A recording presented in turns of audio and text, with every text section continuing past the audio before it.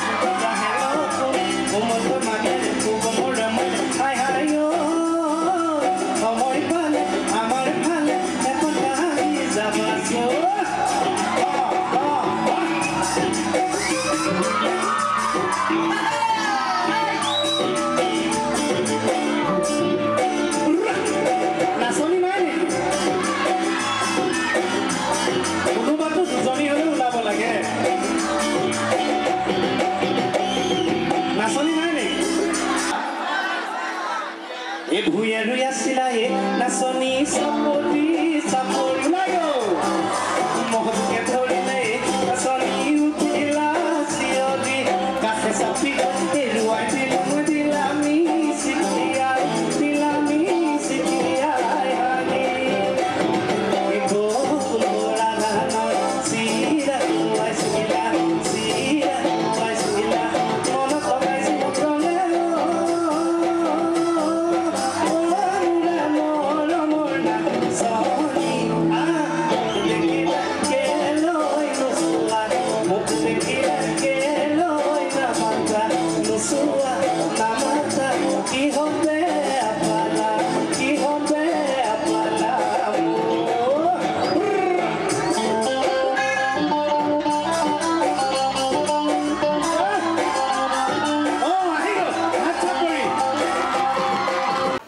প্ৰথমে এই গেৰুৱা উচ্চতৰ মাধ্যমিক বিদ্যালয়ৰ প্ৰধান শিক্ষককে প্ৰমুখ কৰি সমূহ শিক্ষাগুৰু ছাত্ৰ ছাত্ৰীক মোৰ শ্ৰদ্ধা মোৰ অভিনন্দন মৰম যাচিছোঁ।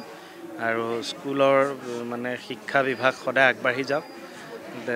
ভাল ভাল এজন এজন সমাজকৰ্মী শিক্ষিত মানুহৰ জন্ম হওক আমাৰ অসমখন সদায় শক্তিশালী হৈ থাকক মানুহৰ জন্ম হওক সেইটোৱে প্ৰথমে কামনা কৰিম। সকলো সুন্দৰ এটা পৰিৱেশ সদায় হৈ থাকক। প্ৰশ্ন আৰু কাৰখন আমি বিৰোধিতা কৰিছোঁৱেই আৰু বিৰোধিতাটো থাকিব সেইকাৰণে যে আমাৰ মানুহখিনি আমি মিলা প্ৰীতিকৈ থাকিব লাগে।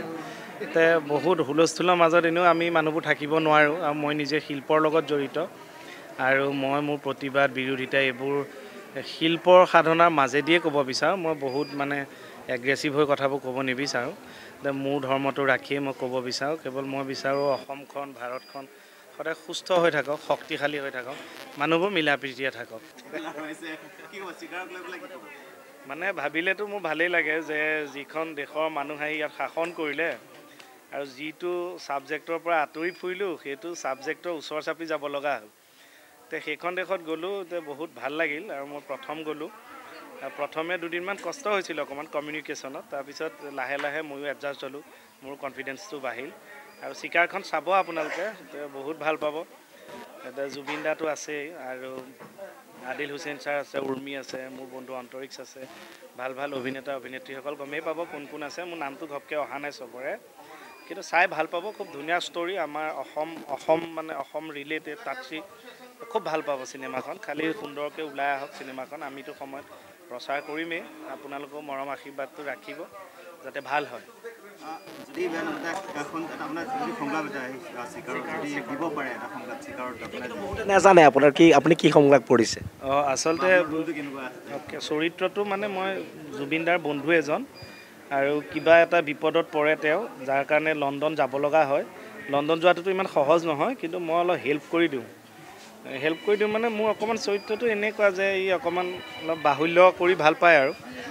তেনেকৈ এটা ছিষ্টেমত আমি লণ্ডন পাই যাওঁগৈ কিন্তু হাঁহি ধেমালি মাজেদিয়ে কাহিনীবিলাক গৈ থাকে মই আছোঁ যিহেতু। তথাপি এটা ম'মেণ্টত মই গুচি আহিবলৈ লওঁ সি মোৰ বন্ধু দাদা মানে বন্ধু সি বুলি ক'লোঁ কেৰেক্টাৰটোৰ কাৰণে। তেতিয়া মই কৈ থৈ আহোঁ সেই ডাইলগটো মোৰ মাতি ভাল লাগিছিল যে দোস্তি সি মোক যাবলৈ কয় এতিয়া লাষ্টত কওঁ যে দোস্তি জাহাজটো ৰাতিলৈহে আছে তোৰ লগতে এইখিনি সময় থাকোঁ যে দোস্তি। এনেকৈ অকণমান দুখৰ এটা ডাইলগ আছিল। ধেমালি কৰি কৰি এনেও দুখটো কৰিলে অকণ বেছিকৈ দুখ লাগে ন? সেইটো চিন কৰি ভাল লাগিল সঁচাকৈ। ভাল পাব চাই আপোনালোকে। ইংলিছ তাতে কোৱা নাই মই কিন্তু ইংলিছৰ পৰা বাচিবৰ কাৰণে যিখিনি মানে গ্ৰামাৰ লাগে সেইখিনি মই লৈ গৈছোঁ তাত। আৰু এনেই মাজে মাজে মোৰ কমন ইংলিছ আছে তাতে একো বুজি পাওঁ নাপাওঁ মাজে মাজে খালি শলাগি দিওঁ ইয়া ইয়া ইয়া এনেকৈ শলাগি দিওঁ। বুজি পাওঁ। মানে ভাল পাব আপোনালোকে ৰস পাব। ভাল হৈছে চিনেমাখন ভাল পাব। ক'ৰবাত মানে ক'ব নোৱাৰি ইয়াতো মুখত নাহি পেলাই এনেকুৱা কৰি থৈ দিওঁ। এনেকৈতো ৰসৰ কাৰণে ইম্প্ৰভাইজ কৰি কৰিছোঁ। বাকী ওলালে গম পাম কেনেকুৱা পায় আপোনালোকে। থেংক ইউ থেংক ইউ শিক্ষক শিক্ষাগুৰুসকললৈ প্ৰিন্সিপাল ছাৰলৈ মোৰ সেৱা থাকিল আৰু ছাত্ৰ ছাত্ৰীসকললৈ মৰম থাকিল শুভেচ্ছা থাকিল। তেওঁলোকে ইয়াত জ্ঞান প্ৰাপ্তি হওক আৰু সেই জ্ঞানেৰে তেওঁলোকে সমাজখন উজ্জ্বল কৰি ৰাখক। প্ৰকৃত অৰ্থত মানুহ হওক সেইটোৱে কামনা কৰিছোঁ। মই ভাবোঁ মই ব্যক্তিগতভাৱে ভাবোঁ যে আমাৰ সমাজত আমি চব কাম কৰি থাকিলেও ক'ৰবাত মানে যেনেকৈ শিপাৰ লগত আমাৰ নিজৰ এটা কানেকশ্যন থাকিব লাগে। আমাৰ আচল যিটো শিপা মাটিৰ লগত ঠিক তেনেকৈ আধ্যাত্মিক চেতনাবোধটো প্ৰত্যেকৰে থকাটো উচিত। গতিকে ছাত্ৰ ছাত্ৰীসকলক যদি সেই কথাটো মই ভাবোঁ যে আচলতে নীতি শিক্ষা বিশেষ ছাবজেক্টৰ নিচিনা বিশেষ বিষয় যেনেকৈ অংক যেনেকৈ মানে গণিত বা যেনেকৈ বিজ্ঞান ঠিক তেনেকৈ নীতি- নীতি শিক্ষাও মই ভাবোঁ যে বিশেষ ছাবজেক্টেই হ'ব লাগে মেজৰ ছাবজেক্টেই হ'ব লাগে। সেইকাৰণে আধ্যাত্মিক চেতনাবোধটো সৰুৰ পৰা যদি মনত সোমাই যায় তেতিয়া ল'ৰা ছোৱালীখিনি কেতিয়াও বিপথে নাযায় চাগে বা যাবলৈ তেওঁলোকৰ সেই মনোভাৱটো নহ'বই। সেইকাৰণে সংগীতৰ জৰিয়তে সেইটোৱে দিবলৈ চেষ্টা কৰোঁ। আজিও উঠিও উঠিয়েই মহাপুৰুষ শ্ৰী শ্ৰী মাধৱদেৱ বিৰচিত নামঘোষাৰ পৰা এটি কাকতি ঘোষা গাইছোঁ। এইটো সদায় প্ৰয়াস থাকে। আশা কৰোঁ সকলোৱে অলপ হ'লেও অকণমান হ'লেও চিন্তাৰ সুৰাক টোপাইছে।